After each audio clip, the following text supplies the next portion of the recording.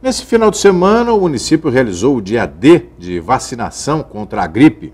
A 23ª campanha nacional de vacinação contra a influenza teve início no dia 12 de abril e desde então tem o foco nos grupos prioritários. Próximo a alcançar 50% da meta de vacinados, a Prefeitura de Foz do Iguaçu realizou o dia D de vacinação no último sábado, 15 de maio. Segundo o boletim vacinal, nas unidades de saúde que ficaram abertas, 204 doses foram aplicadas em crianças, 5 em gestantes, 2 em puérperas, 105 em trabalhadores da saúde, 1.343 em idosos e 346 em professores. Também foram vacinadas 330 pessoas no sistema drive-thru. A meta é atingir 90% desse público. Para isso, a Secretaria de Estado de Saúde enviou mais 423 mil vacinas contra a gripe para as 22 regionais de saúde. Os imunizantes foram encaminhados durante a semana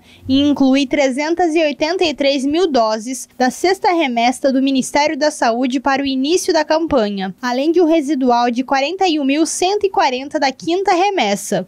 Até o momento, o Ministério da Saúde enviou seis remessas da vacina contra a influenza para o estado, somando mais de um bilhão e meio de imunizantes. A estimativa da pasta é que mais de 4 milhões de pessoas sejam vacinadas no Paraná.